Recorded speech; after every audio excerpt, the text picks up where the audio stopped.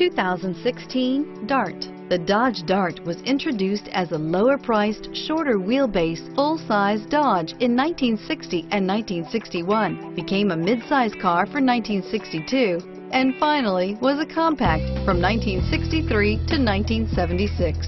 Chrysler had previously applied the Dart name to a Ghia-built show car in 1956 and is priced below $25,000. This vehicle has less than 100 miles. Here are some of this vehicle's great options. Convenience group.